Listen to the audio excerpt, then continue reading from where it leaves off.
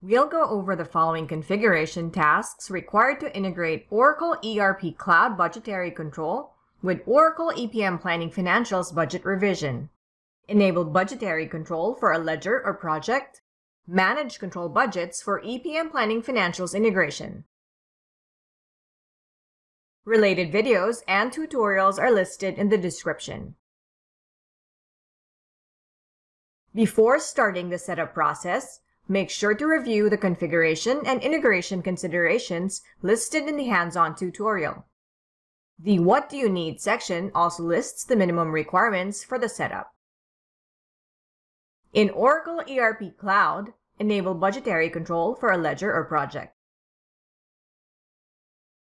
Edit your ledger and select Enable Budgetary Control for the ledger and all journal sources and categories. See the Enabling Budgetary Control and Encumbrance Accounting section in the Using Financials for the Public Sector documentation. When you enable budgetary control, consider these options. Control budget filter, fail budgetary control for budget dates not in valid budget date range, default date rule. Save your changes. Next, create a control budget. You use control budgets to check the spending against a ledger, project, or both and apply validations during budgetary control. Note down the names of the control budgets you plan to use in the integration. You'll be adding these as EPM Planning Financial Smart List entries. Select a budget calendar and period range.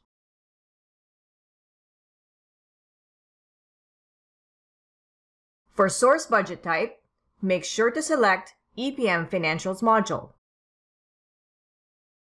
Accept or rename the source budget name. The source budget name defaults to the control budget name. Select the currency and rate type. Select the ledger you enabled for budgetary control. Assign a budget manager. Select chart of account segments for the control budget structure.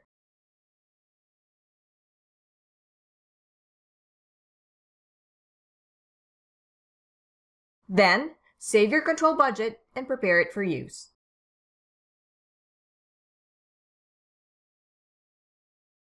Related videos and tutorials are listed in the description. To learn more, visit docs.oracle.com.